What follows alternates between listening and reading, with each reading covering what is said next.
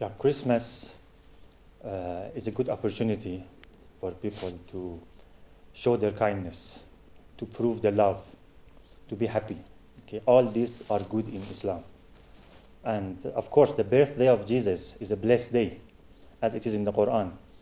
Uh, he said, uh, uh, the Quran said it is the day of salam, means the day of peace.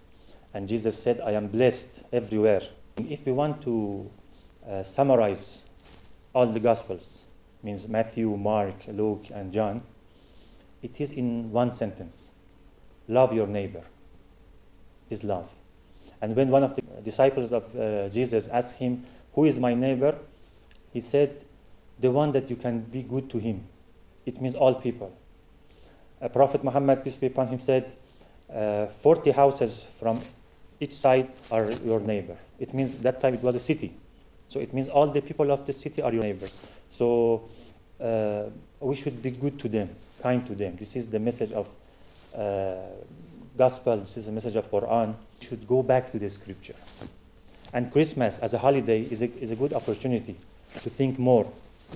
Uh, am I a good Christian? Am I a real follower of Jesus or follower of, for example, Quran or Prophet Muhammad? It's very important because step by step, this is the, the plan of Satan or devil that makes us far. I think I am a Christian, but there is no similarity between me and Jesus.